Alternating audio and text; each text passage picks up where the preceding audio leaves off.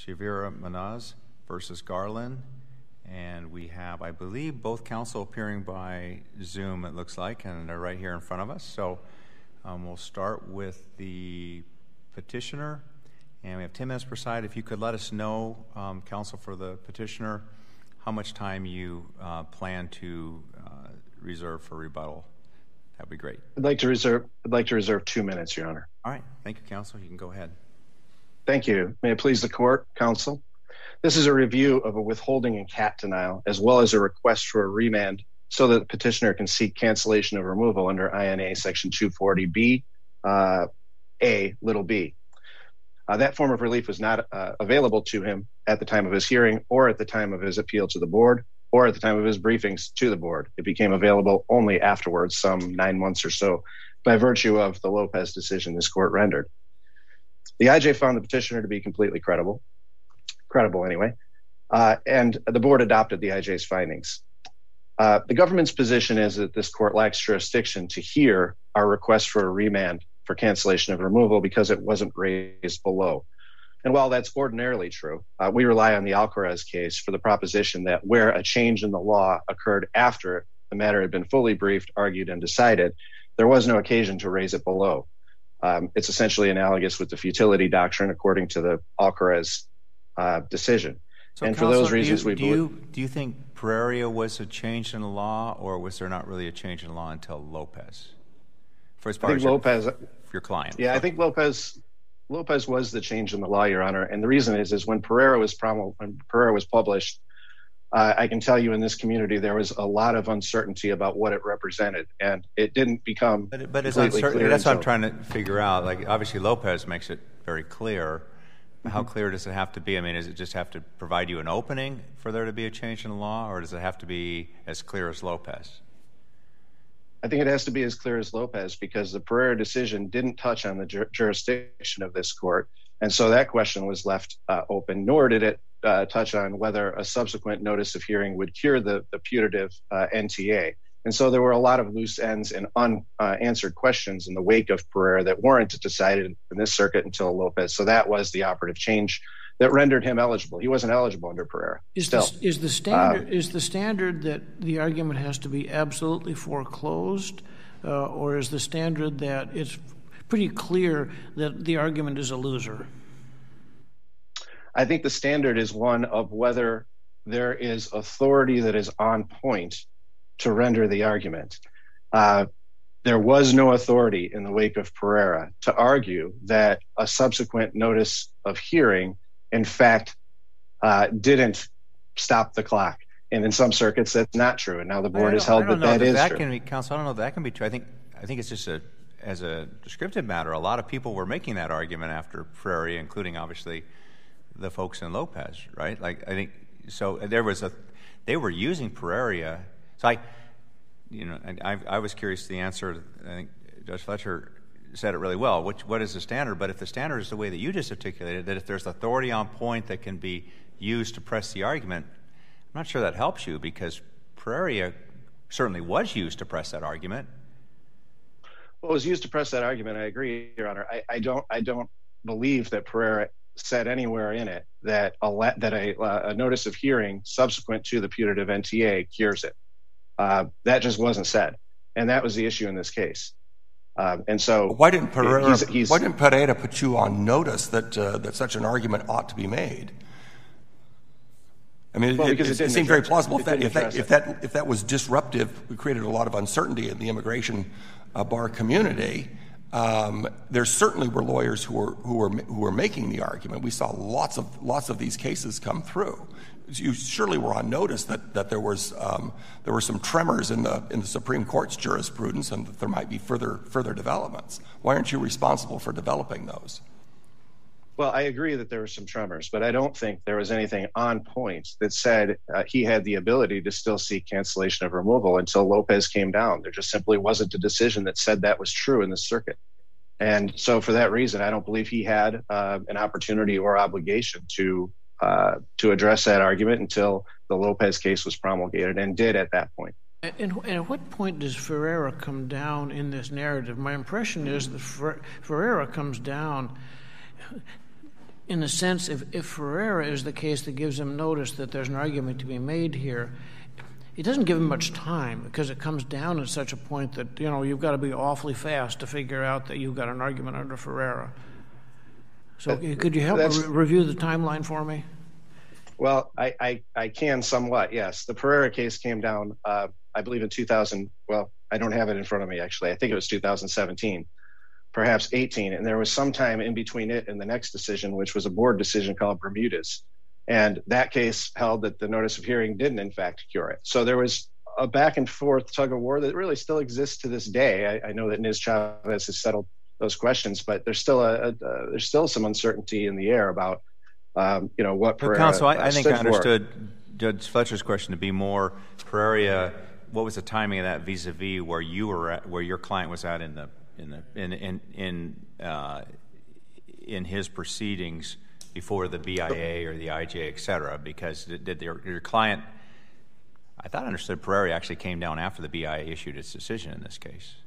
Yeah, that is that is correct, Your Honor. And a motion to reconsider was filed uh, in a timely manner based on Pereira, but it was denied because in that motion uh, we argued the jurisdictional aspect of it, and that was rejected and has been rejected ever since. What is your view?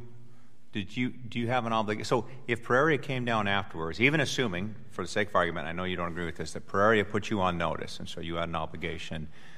What is your argument as far as the timing of Pereira? Like, do you do you have an obligation to file a notice to reopen? or waive the issue, you know, or or do you not have an obligation in order to have to preserve the issue on appeal? So I think the court, the operative court here, is uh, is a much different dynamic than normal. The the immigration court doesn't enjoy powers of equity. The immigration court is a creature of statute only, and so unless there's precedent directly on point, uh, the immigration court isn't going to field those arguments. Uh, they're just not. I made them dozens of times, if not I, I think I'm asking a slightly different question, which let's assume for a second that the immigration court would hear that argument and would have agreed with you, which obviously it wouldn't have because uh, we know that later on it issued the decision that it issued before Lopez that went the other way. But let's assume it, would have or may have. Do you have an obligation? Does your client have an obligation to file a motion to reopen to raise this new authority uh, after after basically proceedings are done in order to not essentially waive the issue before us? No, Your Honor, because uh, the Alcaraz decision points out that motions to reopen are a creature of regulation and not of statute. They are not a, of right. They're discretionary, and therefore uh, they don't obviate jurisdiction if they're not brought in the first instance. Um, prudential exhaustion also shouldn't apply because any any motion to reopen would have been out of time. Um, uh, relative to uh, the regulation. So it would have been denied based on it being out of time. Well, it would have been. You have like what? Uh, you have a certain amount of time. I'm trying to remember how long it is, but but, you, but there's an exception to that for changes in uh, changes in new authority, right?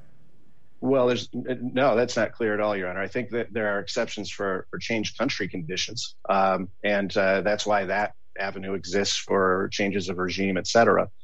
Uh, but changes in the law aren't uh, something the the IJ or the board are obligated to acknowledge. I don't believe. Counsel, just help me with the um, with the. Not out of time, anyway. I, will ask the presiding judge to give you additional time to answer my question, please. Um, so the uh, IJ's decision comes down in July of, of 2017. The BIA's decision is issued on June 4th, 2018, and Pereira comes down two weeks later. Am I correct on that? June 21st, uh, 2018? That sounds about, about correct, yes. So the only thing, in, if Pereira signaled a change in the law for which you should have been more aggressive in your, in your you would have had to have asked the BIA for a, uh, to, reconsider or for, a, or for a motion to reopen. Is that correct? Well, we did ask for that is correct, and we did ask for a motion to uh, we approached the board with a motion to reconsider. Uh, the argument that was made wasn't the ultimate argument that prevailed over the course of the litigation, culminating with Lopez, though. And so that argument was that the, the, IJ uh, lacked jurisdiction because of the putative NTA, and that was rejected and has been rejected roundly ever since then. So we, we did make the Pereira argument. We didn't make the nuanced argument that eventually emerged via Lopez. Yeah, so so I guess that, that raises another, and don't worry, we'll make sure you have time for rebuttal. So, um, okay. but, but it does raise like a, a, sort of another level of complexity to this case in that assuming that you did not have an obligation to raise new authority in a motion to reopen, you just don't have that obligation, right? Let's assume that for a second. And, uh, it, you know, and here the, the new authority, if, if Pereira was new authority, it did come down within the period of time you could have um, raised it. What's, what it makes this even a little more complicated is you did actually raise Pereira in a motion to reopen. You just didn't make the right argument, kind of as you just said. So, well, how does that affect? Like, let's just say you did not have the you did not have an obligation to raise it because you don't have an obligation to raise it in the motion to reopen. But if you do bring a motion to reopen and you do raise it, but you don't make an argument, have you then waived it because you you went ahead and did it, but you didn't do it very well?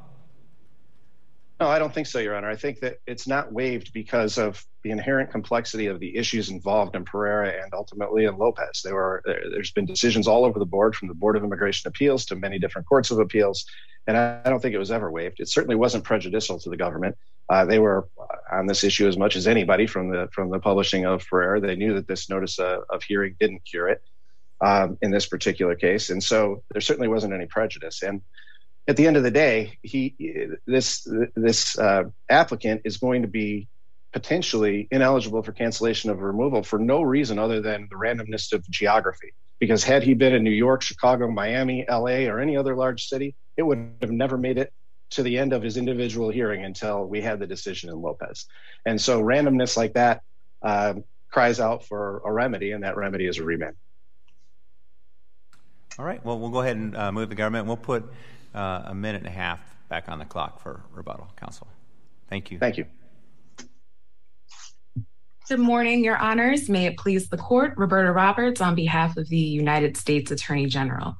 Your Honors, I'd like to first uh, provide you with a timeline here in this case that would be relevant to the issue of uh, bringing the argument based on Pereira.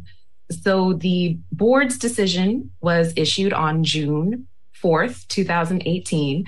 Pereira v. Sessions was issued on June 21st, 2018. Petitioner filed his motion to reconsider and terminate, claiming lack of jurisdiction based on Pereira on August 6, 2018. Now, matter of Bermudez Cota, with which addressed jurisdiction, that was decided after uh, the petitioner filed his motion to reconsider. And matter of Mendoza Hernandez, which specifically uh, addressed whether the stop time bar applies, that board decision was issued on May 1st, 2019. That would be the decision that would have foreclosed petitioner's argument to the board about whether uh, he would have been eligible to apply for cancellation of removal. That decision did not come until 2019. When petitioner filed his motion to reconsider and terminate based on Pereira in August of 2018, he had the opportunity to make the argument that the stop time bar would not have stopped accrual of his continuous physical presence, so which counsel, was so. Counsel, the, I think we're we're pretty familiar with the timeline. So I get this kind of goes back to to I think a question that uh, Judge Fletcher asked um, your, your counsel on the other side, which is so what is your position as far as what the standard is? Um, obviously, there's a standard that it has to be a case like Lopez that makes abundantly clear that you can do it, that, that you know that you have this argument. Um, is is the stand, you know does it have to just barely have cracked open the door for the possibility of making an argument? What is the government's position as far as what the standard that we would apply to say, well, the argument was available was available to you and you should have made it? Is yes, it the, Your Honor. Is it the cracked yes, door? I assumed you're going to say crack the cracked door. Yes, Your Honor. We we would say it is the the cracked door uh, because the Ninth Circuit, uh, this court has said that uh, the exception to the prudential exhaustion requirement, it's only when it would be futile to raise the argument. So, uh, so really, I mean, as a practical matter, it, it kind of was futile. Like we know that if he'd raised it before the BIA, the BIA would have said no. It did so the following May in Mendoza Hernandez, um, right? Uh, yes, Your Honor. Uh, but however, that was not said until after the motion was filed. Mendoza-Hernandez did not come out until 2019. Prior to that time, the board was not bound by prior precedent that would have precluded it from granting relief, which is the standard that is stated in Alvarado v. Holder, Your Honor. Now, you know, in the circumstances of this case, this is an awfully demanding standard. I think really an unrealistically demanding standard. If you're just talking about ordinary human behavior, competent lawyer behavior, you're asking uh, his lawyer to beat their head against the wall, uh, and you say, well, because you didn't beat your head against the wall, you lose. I understand beat against the head beat your head against the wall is not a very precise standard. No, Your Honor, but that does not that is not the standard here, especially where the precise issue that petitioner is asking for remand for uh, out in terms of the uh, stop time rule and physical presence accruing, that is the exact narrow issue that was addressed in Pereira. So petitioner... Well, it was it was addressed in Pereira, but without talking about what's curative, what's possible for curative. Correct? I'm sorry, Your Honor. Could you please repeat that? The issue addressed in Pereira did not include what happens or how you can cure that with a subsequent notice, correct? Correct, Your Honor. Yeah. That's not that's not handled until 2021 and Niz-Chavez. Yes, Your Honor. So, counsel, are there any are there any cases in which in uh, that you're aware of in which we or any other court has said this issue does not does not have to be exhausted in order to be preserved? Uh, Your Honor, not that I am uh, aware of, Your Honor. Uh, you know, as as mentioned, there is an exception to the prudential exhaustion requirement where it would be futile. However, that does not seem to be the case here, Your Honor. I have a I have an unpublished opinion from 2021 from our court in which we said it did not have to exhaust. It appears that his dates are a little bit earlier, uh, so it they appear to be that appears to be pre-Pereira. But why would that make a difference? We said we said that he was not required to exhaust the question. Uh, Your Honor, uh, I may not be familiar with this unpublished decision you you mentioned, Your Honor. Could you please repeat the question? Yeah. Uh, in this in this case, it appears that the proceedings terminated before Pereira, But, and we said that uh, that Niz-Chavez really was the governing standard and that he was not required um, to um, to exhaust. So, uh, I mean, the question I think that's raised by a decision like that, somewhat distinguishable from this one, is why why wouldn't why couldn't the government come in and argue that you're responsible to anticipate Pereira, much less wait for Pereira and then try to develop it further?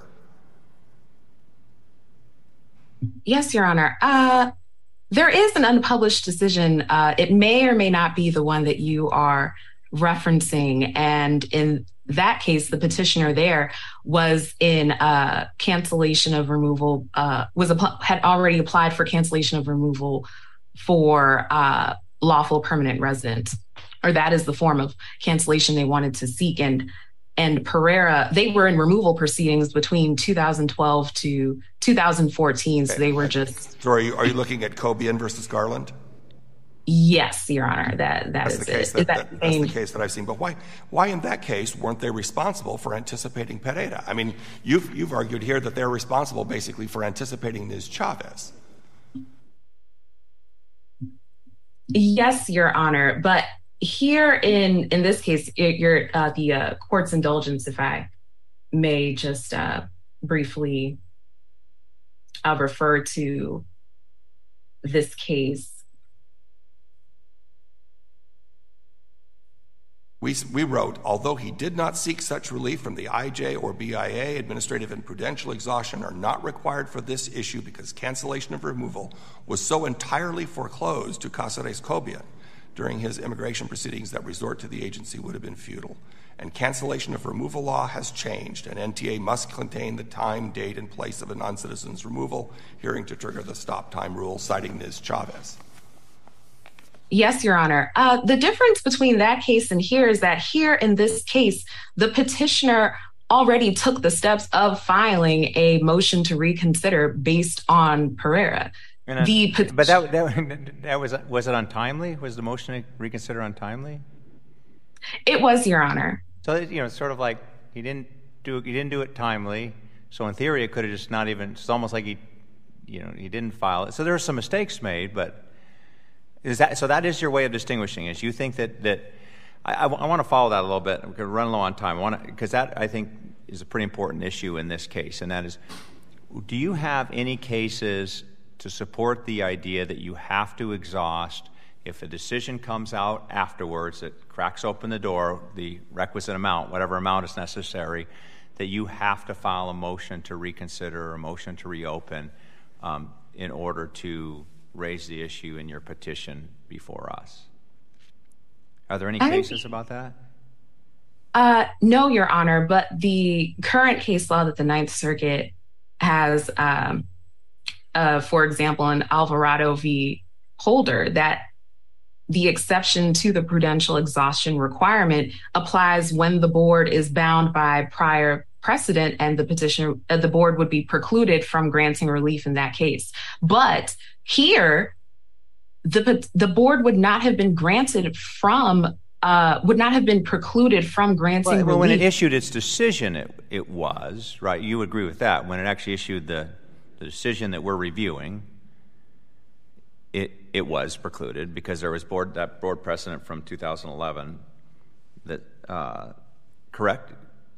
Yes, Your Honor, at the okay, time. So, so your, own, your position, it's sort of, this is sort of a, it's a little bit of a circular argument because you're basically saying they weren't precluded after they issued the decision – so therefore, you have to file a motion to reopen. But I'm not sure, you know, when we said that, that you know, that, that the only that the exception would be if the board um, was precluded, that we were implicitly saying, and that means you have to file a motion to reopen if or motion reconsideration if it changes after the fact. I just don't. I don't think we we've addressed that issue before. I don't think, unless you unless there's some decision out there I'm not aware of, and I'm asking you if you're aware of any.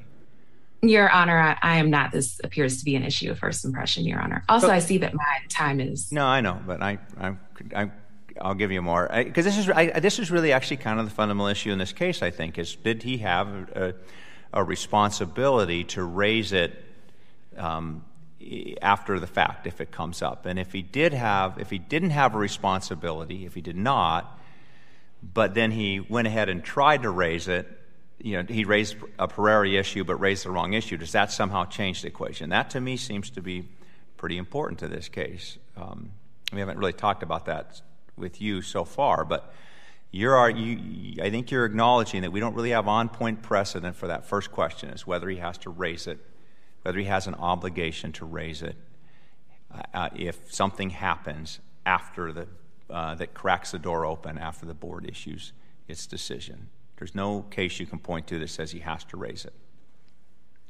No, Your Honor. And then, and then the question becomes if he does raise it, but raises it wrong, does he somehow has he somehow waived it because he made a Pereira, a Pereira argument but didn't make the right right one? And I don't, I don't know. I guess we'll have to.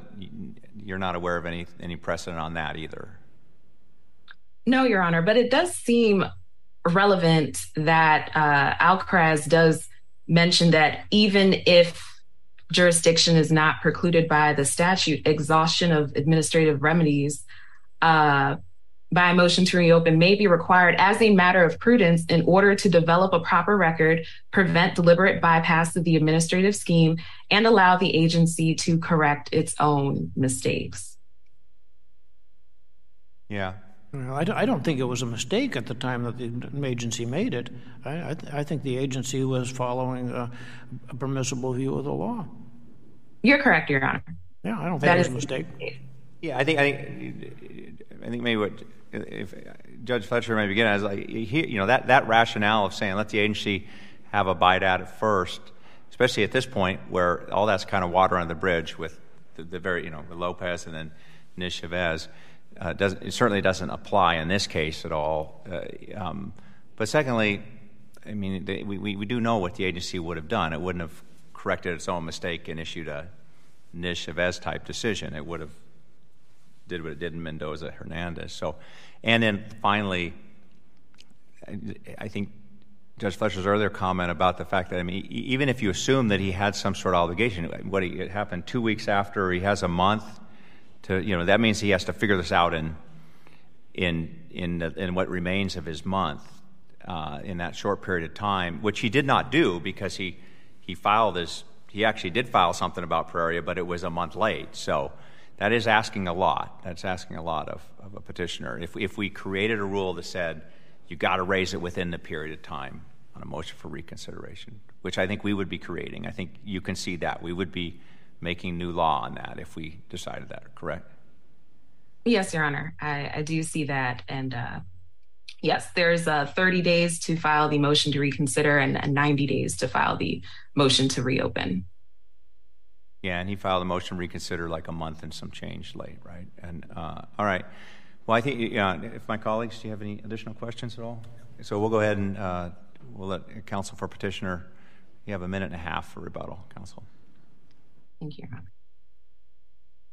Thank you. Two things uh, jump out at me from uh, this discussion. The first is, is that the agency was following the law uh, back then, and it was um, because that was the law until well Lopez in the Ninth Circuit and then Niz-Chavez from the Supreme Court. So uh, we absolutely know what the agency would have done with that request. There's no doubt about it. Um, and it would have denied it. And they did deny these uh, motions systematically until they were told they couldn't.